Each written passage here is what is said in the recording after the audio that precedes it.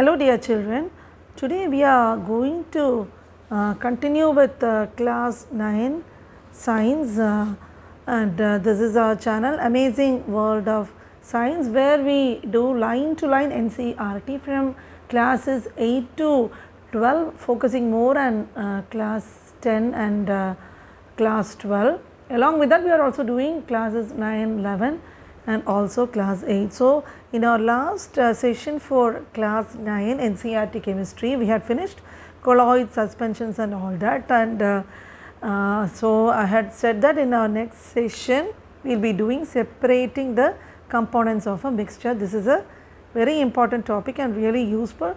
You have to focus well and uh, only if you are thorough with the concepts then you will be able to identify which method you can uh, use for uh, the separation of components of a mixture. Okay, now we will start our session for today.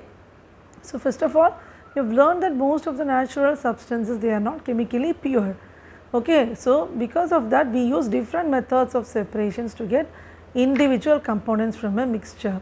So, separation why is it necessary? So, only uh, due to the method of separation we can study and use individual uh, components of a mixture. So, you know in a mixture there will be different particles or components. So, we will be able to identify and study about them only if you can uh, separate it individually. So, already we have learned that heterogeneous mixtures are separated into the components by physical methods like hand picking, sieving, filtration which we use in our day to day life and in not, this is not possible in all cases. So, we have to use special techniques to separate the components of a mixture. Uh, so, last class we had discussed, discussed about filtration and all these things. So, uh, how can you do that? We will first uh, uh, take this case where how can you obtain colored component or dye from blue black ink. For that we have to do one small activity. You take a beaker, fill half of the beaker with water. And now you have to put a watch glass on the mouth of the beaker. See, it is given in the figure here. After that you put a few ink drops on the watch glass over here.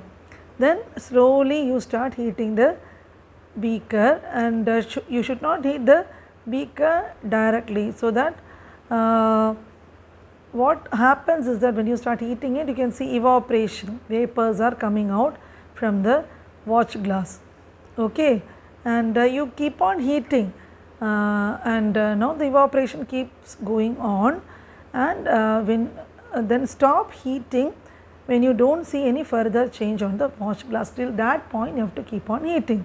Now you observe carefully and we will see what happens. Okay, now what do you think has got evaporated from the watch glass? Is there any residue on the watch glass? What is your interpretation or what do you think about this? And uh, what is ink? Is it a single substance pure or is it a mixture of different substances? So, we find that ink is uh, actually a mixture of a dye in water. So, uh, you can separate the volatile component solvent from its non-volatile solute by evaporation. Okay. So, volatile component, what is meant by volatile? Easily vaporizable. So, it can be separated from uh, non-volatile solute is non-volatile that means solute is not uh, vaporizing only the solvent gets vaporized. So, in that cases you can use the method of evaporation. Hope you understood uh, what is meant by evaporation. Now, how can you separate cream from milk? So, you know uh, nowadays uh, when you buy milk you get different types of milk full cream, toned, double toned, okay it is packed in uh, different types of packets and all that and it contains different varieties contain different amount of fat. Now, what you have got to do is you take some full cream milk in a full cream milk means it contains a maximum amount of fat. You take it in a test tube then centrifuge it by using a machine for 2 minutes. So, if you do not have this then you can use it using a, a milk churner or something in the kitchen and uh, or uh, in the milk dairies and all that uh, they have got this churner. Okay, now uh, what can you see by churning of milk? How does the separation of cream from milk take place? So, normally you see solid particles in a liquid they are very small and they pass through a filter paper.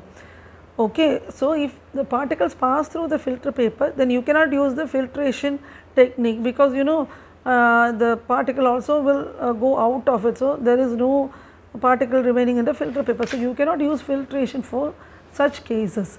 So, here you can use the method of centrifugation. So, what is the uh, principle of centrifugation? The denser particles are forced to the bottom and the lighter particles stay at top. Uh, see when you churn uh, milk and all that you can see the cream okay as denser particles collecting at the top of the vessel. Okay, normally what are the applications, what is it used for?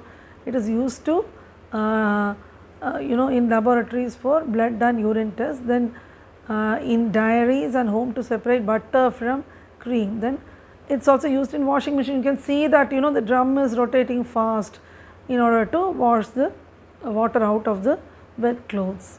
Okay. Now let us see how you can separate a mixture of two immiscible liquids. Immiscible liquid means we see like kerosene from water uh, using a separating funnel. So, what you have got to do is you pour the mixture of kerosene oil and water in it. This is a separating funnel you can see that in the figure okay and you keep it uh, for some time. See this is kerosene, this is water, this is a stopcock. And when you open the stopcock you can see the bottom layer what is it? It is water and in the middle we have got kerosene. So, you just keep on opening the stopcock and the water will uh, flow out till this level you keep on opening the stopcock and once it reaches the oil part you just stop it.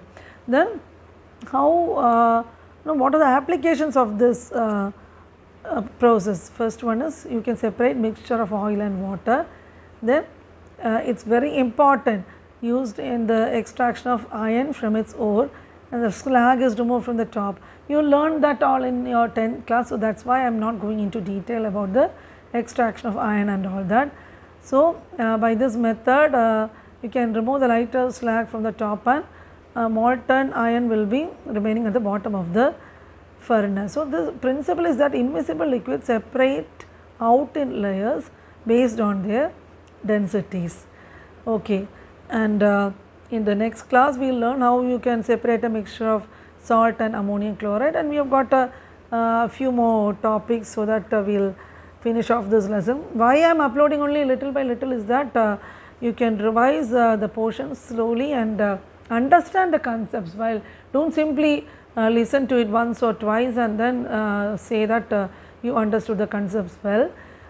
but you go through the topics concepts thoroughly and keep it in your mind and many subscribers or many people who are watching my channel you are not uh, subscribing to the channel without uh, subscribing you are watching the videos. Kindly do like share and subscribe to our channel amazing world of science. And whatever doubts you have got uh, you can uh, put comments and uh, your support is our strength. So keep watching for more videos. I will be uploading every week whenever possible I will be uploading the lessons NCERT line by line for you and I hope uh, this session is use, quite useful for you and uh, thanks for watching the video.